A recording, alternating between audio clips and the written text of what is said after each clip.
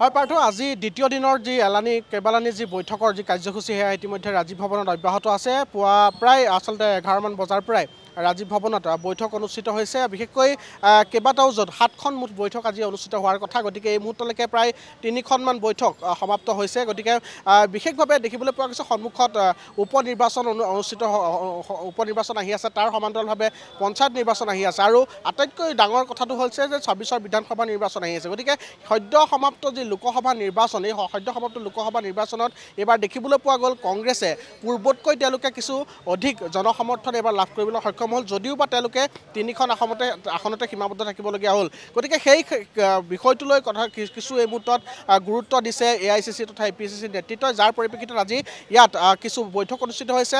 মুঠ সাতটা জোন ভাগ কৰি দিয়া হৈছে য'ত কেইবাখনো জিলা তাত অন্তৰ্ভুক্ত কৰা হৈছে। আৰু এই পৰ্যায়ক্ৰমে প্ৰতিটো জোনক এঘণ্টাকৈ সময় দিয়া হৈছে আৰু একোজনকৈ আহ্বায়কৰ নেতৃত্বত এই বৈঠকসমূহ আচলতে আজি বিশেষভাৱে অনুষ্ঠিত হৈছে। বৈঠকত ইতিমধ্যে জিতেন্দ্ৰ সিং উপস্থিত আছে। সমান্তৰালভাৱে ভূপেন বৰা উপস্থিত আছে। দেৱব্ৰত শইকীয়াকে ধৰি A I A P C চিৰ নেতৃবৰ্গ উপস্থিত আছে। তাৰোপৰি ডাঙৰ কথাটো হৈছে যে এই বৈঠকৰ মাজত আৰু তাত তাৰ মাজত চৰ্চাৰ বিষয়টো হৈছে যে যিসকলে লোকসভা নিৰ্বাচনৰ আগে পাছে দেখিবলৈ পোৱা গ'ল যে বিজেপি কংগ্ৰেছ দলত থাকিও তেওঁলোকে বিজেপিৰ হৈ কেতবোৰ কাম কাজ কৰিছিল বা দল বিৰোধী কাৰ্যকলাপত লিপ্ত হৈছিল। তাৰ সমান্তৰালভাৱে কেইবাজন আমি বিধায়কক দেখিছোঁ যিকেইজন বিধায়ক কংগ্ৰেছী নামতহে কিন্তু তেওঁলোকে বিজেপিৰ হৈ তেওঁলোকে সকলোখিনি কাম কৰি আছে বা বিজেপিৰ সৈতে তেওঁলোকৰ ঘনিষ্ঠতা মিতিৰালি যথেষ্ট বেছি। এই ক্ষেত্ৰত ক'বলৈ গ'লে শশীকান্ত দাস সমান্তৰালভাৱে শ্বেৰমান আলী তাৰোপৰি যিকেইজন বিধায়ক কমলাক্ষ দেৱ পুৰকাষ্ট বসন্ত দাস আদি কেইবাজনো বিধায়কৰ নাম আছে যিকেইজন বিধায়কৰ বিৰুদ্ধে তেওঁলোকৰ বিধায়ক পদ খাৰিজৰ বাবে ইতিমধ্যে এ পি চি চিয়ে আবেদন জনাই থৈছে। কিন্তু সেই আবেদন এই মুহূৰ্তলৈকে বিধানসভাৰ অধ্যক্ষই বিশেষ কোনো তেওঁলোক গ্ৰহণ কৰা নাই। যাৰ পৰিপ্ৰেক্ষিতত সেইসকলৰ বিধায়ক পদ খাৰিজ নাই। গতিকে এই বিষয়টো কিছু গুৰুত্ব সহকাৰে লৈছে এ পি চি চিয়ে। গতিকে বিধানসভাৰ অধ্যক্ষ হওক বা অসম চৰকাৰক বা এই গোটেই বিষয়টো বা সেইকেইজন দল বিৰোধী কাৰ্যকলাপত লিপ্ত হোৱা যিসকল বিধায়ক আছে তেওঁলোকৰ বিৰুদ্ধে ব্যৱস্থা লোৱাৰ বাবে এই মুহূৰ্তত কিছু ইয়াত সিদ্ধান্ত গ্ৰহণ কৰা হৈছে সেই সন্দৰ্ভতো ইয়াত আলোচনা এই মুহূৰ্তত চলি আছে। মই যিহেতু কৈছিলোঁ যে সাংগঠনিক কিছু দিশক লৈ আলোচনা হৈছে সন্মু- সন্মুখত উপ নিৰ্বাচন তথা পঞ্চায়ত নিৰ্বাচন আছে। মোৰ সৈতে উত্তৰ অসম উজনি অসম জোনৰ আহ, আহ্বায়কগৰাকী আছে অজয় গগৈ। মই অকণমান তেওঁৰ পৰা কিছু কথা জানিবলৈ চেষ্টা কৰিম। ইতিমধ্যে আপোনালোকৰ বৈঠক সমাপ্ত হৈছে। আপোনাৰ অধীনত সাতখনকৈ জিলা সাতখনকৈ জিলাৰ আহ্বায়ক আপোনাক এই নিযুক্তি দি আজি বৈঠকখন অনুষ্ঠিত হ'ল। কি কি আলোচনা আজি স্থান পাইছে আপোনালোকৰ বৈঠক প্ৰথম কথাটো হ'ল যে বিগত লোকসভা নিৰ্বাচনৰ পাছত কংগ্ৰেছ দলৰ প্ৰতি মানুহৰ যিটো আস্থা আৰু আনুগত্যতা যিটো উৎসাহ এই উৎসাহে আমাক কংগ্ৰেছ কৰ্মীসকলক যথেষ্ট উৎফুল্লিত কৰিছে। আৰু ইয়াতকৈ শক্তিশালী ৰূপত কংগ্ৰেছ দলক অনাগত দিনত কেনেকৈ গঢ়ি তোলা হ'ব তাৰ সম্পৰ্কে বিশদভাৱে আলোচনা হৈছে। দ্বিতীয় কথাটো হ'ল যে আগন্তুক পঞ্চায়ত নিৰ্বাচনত আমি কেনেকৈ পঞ্চায়ত নিৰ্বাচনৰ প্ৰত্যেকটো বুথৰ পৰা আঞ্চলিক পঞ্চায়তৰ পৰা জিলা পৰিষদলৈকে আমি নিৰ্বাচনত জয়লাভ কৰিম তাৰ ৰণনীতি প্ৰস্তুত কৰিবৰ কাৰণে তাৰ পৰিকল্পনা প্ৰস্তুত কৰিবৰ কাৰণে ইতিমধ্যে বিশদভাৱে আলোচনা হৈছে। লগতে দলীয় সংগঠন আমাৰ বিভিন্ন উইংছবিলাক কেনেধৰণে শক্তিশালী কৰিব লাগিব তাৰ সম্পৰ্কে আলোচনা হৈছে। আজিৰ সভাত আমাৰ মাননীয় সভাপতি ভূপেন কুমাৰ বৰা ডাঙৰীয়া আমাৰ জিতেন্দ্ৰ সিং ডাঙৰীয়া আমাৰ গৌৰৱ গগৈ ডাঙৰীয়া সাংসদ ৰকিবুল হুছেইন ডাঙৰীয়া দেৱব্ৰত শইকীয়া ডাঙৰীয়া সকলোবোৰ উপস্থিত আছে আৰু তেখেতলোকে গোটেই কৰ্মীসকলক নেতাসকলক তেওঁলোকে দিশ নিৰ্দেশনা দিছে যে অনাগত দিনত দলক দলৰ ভেটি শক্তিশালী কৰিবৰ কাৰণে কেনেধৰণে তেওঁলোকে কঠোৰভাৱে শক্তিশালীভাৱে তেওঁলোকে কাম কৰিব লাগিব তাৰ এটা নীতি নিৰ্দেশনা দিছে। নিশ্চিতভাৱে এই বিষয় লৈ কিছু আলোচনা হৈছে গতিকে সাতটা জনৰ সাতজন আহ্বায়ক নিযুক্ত কৰা হৈছে আৰু সেই আহ্বায়কৰ নেতৃত্বত অহা যিসকল দলীয় কৰ্মী জিলা পৰ্যায়ৰ যিসকল নেতাকৰ্মী বুথ পৰ্যায়ৰ নেতাকৰ্মী তেওঁলোকক লৈ আজি প্ৰদেশ কংগ্ৰেছে বিশেষভাৱে আজি ৰাজীৱ ভৱনত বৈঠক অনুষ্ঠিত কৰিছে। বিয়লি ভাগলৈকে বৈঠক চলিব। তাৰ মাজতে সাংসদ গৌৰৱ গগৈ আহি ইতিমধ্যে ৰাজীৱ ভৱনত উপস্থিত হৈছে আৰু গৌৰৱ গগৈকো আজি সম্বৰ্ধনা জনোৱা হ'ব। যিহেতু তেওঁ কংগ্ৰেছ সংসদীয় দলৰ উপ দলপতি হিচাপে তেওঁ নিৰ্বাচিত হ'ল। গতিকে তেখেতকো আজি ইয়াত সম্বৰ্ধনা জনোৱাৰ কথা আছে। গতিকে এই মুহূৰ্তত ক'বলৈ গ'লে ৰাজীৱ ভৱন এক প্ৰকাৰ উখল মাখল পৰিৱেশ উদুলি মুদুলি পৰিৱেশ। কাৰণ যি ধৰণে আমি দেখিবলৈ পাওঁ নিৰ্বাচনৰ সময়ছোৱাত ৰাজীৱ ভৱনত এক নিমাওমা পৰিৱেশ পূৰ্বতে আমি দেখিছিলোঁ। কিন্তু আজি এতিয়া যেন পৰিৱেশ কিছু সলনি হৈছে কাৰণ কংগ্ৰেছৰ প্ৰতি ভোটাৰ ৰাইজৰ আস্থা বাঢ়িছে বুলি কংগ্ৰেছে ভাবিছে আৰু যাৰ পৰিপ্ৰেক্ষিতত তেওঁলোকে অধিক দৃঢ়তাৰে অধিক উৎসাহেৰে তেওঁলোকে আগন্তুক নিৰ্বাচনসমূহত যাতে খুব নিখুঁতভাৱে তেওঁলোকে আগবাঢ়ি যাব পাৰে বা অৱতীৰ্ণ হ'ব পাৰে তাৰ বাবে কিছু এই মুহূৰ্তৰ ৰণনীতি প্ৰস্তুত কৰা দেখিবলৈ পোৱা গৈছে।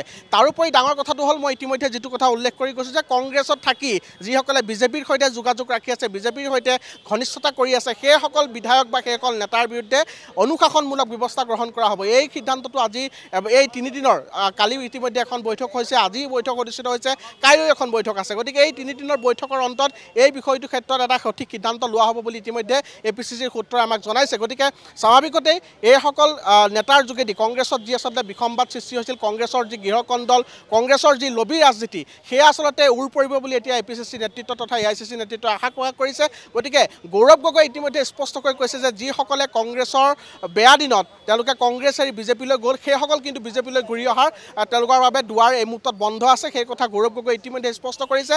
তাৰোপৰি ডাঙৰ কথাটো হ'ল যিটো সময়ত দেখা গ'ল যে লোকসভা নিৰ্বাচনৰ সময়ছোৱাত কংগ্ৰেছৰ কেইবাজনো নেতা ৰাণা গোস্বামীকে ধৰি মানস বৰাকে ধৰি কেইবাজনো নেতাকৰ্মীক আমি দেখিলোঁ যিসকলে বিজেপিলৈ ঢাপলি মেলিছিল। সেই সময়ছোৱাত যোৱা সেইসকল নেতাৰ কিন্তু বাবে আজিৰ তাৰিখত কংগ্ৰেছৰ দুৱাৰ বন্ধ বুলি ইতিমধ্যে ভূপেন বৰাই কৈছে। আৰু কংগ্ৰেছে এটা নিজৰ ৰণকৌশল প্ৰস্তুত কৰিছে যে বিজেপিত এই মুহূৰ্তত যিহেতু কিছু গৃহকণ্ডল অব্যাহত আছে গতিকে বিজেপিৰ যিসকল পুৰণি নেতা কৰ্মী আছে নিষ্ঠাৱান কৰ্মী আছে। তেওঁলোকে ইতিমধ্যে কংগ্ৰে- কংগ্ৰেছৰ সৈতে গোপনে যোগাযোগ কৰাৰ খবৰ এটাও আমি লাভ কৰিছোঁ। অৰ্থাৎ ছাব্বিছৰ লোকসভা বিধানসভা নিৰ্বাচনৰ পূৰ্বে ৰাজ্যৰ ৰাজনীতিত যে ধুমুহা আহিব সেই কথা এক প্ৰকাৰ ইংগিত পোৱা গৈছে। কাৰণ বিজেপিয়ে যি ধৰণে ৰণনীতি প্ৰস্তুত কৰি আছে কংগ্ৰেছক আচলতে পৰাভূত কৰিবলৈ ঠিক সেইদৰে কিন্তু কংগ্ৰেছেও এইবাৰ বিজেপিক ছাব্বিছত আচলতে নচা আচলতে একেবাৰে নাইকিয়া কৰিবৰ বাবে কিছু প্ৰয়াস হাতত লৈছে। বিজেপিৰ ভিতৰ চোৰাত যি অন্তকণ্ডল চলিছে তাৰ পূৰ্ণ সুযোগ এই মুহূৰ্তত কংগ্ৰেছে গ্ৰহণ কৰিছে। কাৰণ অগপ আৰু বিজেপিৰ কেইবাজনো প্ৰাক্তন বিধায়ক কেইবাজনো জ্যেষ্ঠ নেতা ইতিমধ্যে কংগ্ৰেছৰ সৈতে যোগাযোগ কৰিছে। হয়তো তেওঁলোকে খুব সোনকালে কংগ্ৰেছত যোগদান কৰিব। গতিকে স্বাভাৱিকতে এই বিষয়টো লৈ কিছু চৰ্চা এই মুহূৰ্তত অব্যাহত আছে। তাৰ নিশ্চিত তথ্য আমি এই মুহূৰ্তত জনাব নোৱাৰিম যদিও যিখিনি আমাৰ হাতত পৰা খবৰ সেই খবৰখিনি আমি আমাৰ দৰ্শকসকলক জনাইছোঁ। গতিকে ৰাজ্যৰ ৰাজনীতিত ৰাজনীতিত যিহেতু একো অসম্ভৱ বুলি কোনো কথা নাই নিশাটোৰ ভিতৰতে সকলো সম্ভৱ হয়। গতিকে এই মুহূৰ্তত বিজেপিয়ে যি ধৰণে আহ, বৰ্তমান সময়ত আগন্তুক নিৰ্বাচন উপ নিৰ্বাচন পঞ্চায়ত নিৰ্বাচন বা বিধানসভা নিৰ্বাচনৰ বাবে তেওঁলোকে ৰণনীতি প্ৰস্তুত কৰিছে। তাৰ সমান্তৰালভাৱে ৰাজীৱ ভৱনতো কংগ্ৰেছৰ এই মুহূৰ্তত মাৰাথন বৈঠক অনুষ্ঠিত হৈছে। আজি সাতখন বৈঠক অনুষ্ঠিত হৈছে। কাইলৈ জিতেন্দ্ৰ সিঙৰ অধ্যক্ষতাৰ আন এখন বৈঠক অনুষ্ঠিত হ'ব।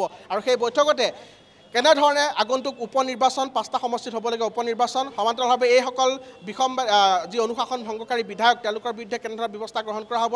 তাৰোপৰি আগন্তুক পঞ্চায়ত নিৰ্বাচনত কংগ্ৰেছে নিজৰ ভেটি কিমান সুদৃঢ় কৰিবলৈ সক্ষম হয় এই সন্দৰ্ভত বিস্তৃত আলোচনা হ'ব। গতিকে এই সিদ্ধান্তসমূহ কাইলৈ আমি অৱগত হ'ব পাৰিম তেওঁলোকৰ মুখেৰে। গতিকে ইমানখিনিয়ে আজিলৈকে এই মুহূৰ্তলৈকে থকা আপডেট।